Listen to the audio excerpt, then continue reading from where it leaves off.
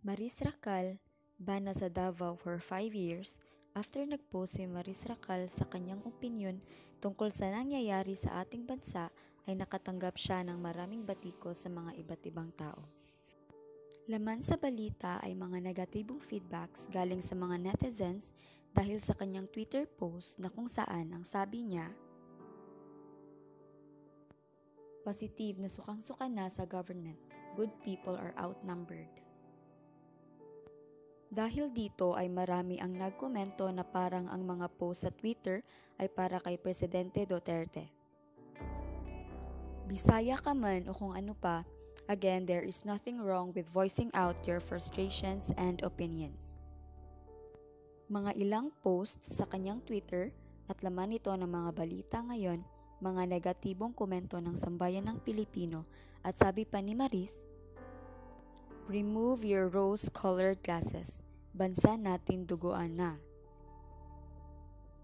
At eto naman ang mga komento ng mga netizens na nakuha natin sa Davao City Reports which is a government organization na kung saan ang Facebook fanpage na ito ay nananawagan sa mga local governments sa Davao na sana ay maband si Maris Racal sa Davao.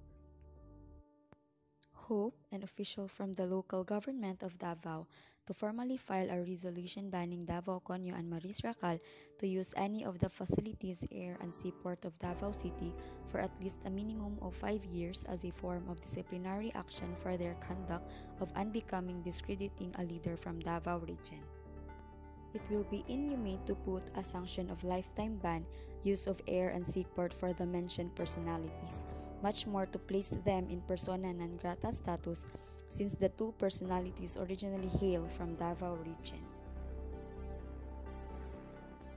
No amount of public apology will suffice the damage they have done not only for the president who represents this region but more so to the people of Davao region by stating derogatory remarks on social media which has caused more trigger of ununification to the people of this republic. That, if this pushes through, deserves for everyone to be grateful of where he or she came from, and what you are now is because of where you also came from. Pero wala pa namang official statement si Maris tungkol sa mga negatibong feedbacks galing sa mga netizens at normally sa mga Bisaya kaya ang ginawa lang ni Maris ay nagpost sa kanyang Twitter account na kung saan ay ibinahagi niya ang kanyang advocacy kung saan naka-raised siya ng 600,000 pesos cash donations para sa mga frontliners sa Tagum City at ito ang kanyang pahayag. Hi everyone! Kamusta kayong lahat? I just want to let you guys know that our team, Agbay Tagum, has been planning to raise funds for our frontliners there in Tagum City, Davao del Norte. And sa mga hindi nakakaalam, taga dito ko, and the hospitals there are experiencing shortage of PPEs as patients under investigation add up every day. And I know these are tough times and we have to save money as much as possible.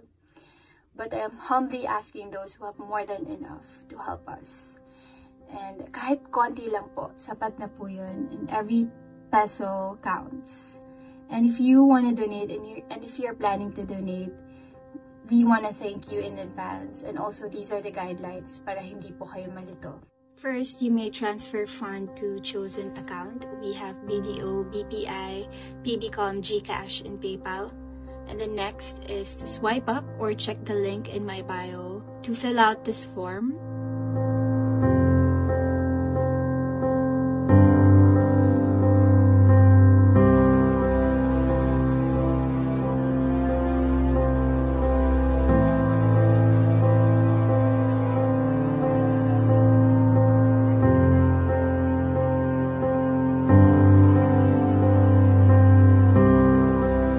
Once again, I want to thank you for your generosity, and uh, I hope God and I know God will bless your kind hearts. Stay safe po tayo. Daghang salamat. At ito ang latest post ni Maris Racal sa kanyang Twitter account. As of April 1, we have already collected more than 600,000 pesos. Thank you to the donors. This will greatly help our frontliners in Tagum City but we need more help as we want to reach more hospitals. If you want to help, know that we are still accepting donations. Ano sa palagay nyo? Kailangan ba talagang i-ban si Maris Racal? Write down your comments below kung ano ang mga opinion nyo sa isyong ito.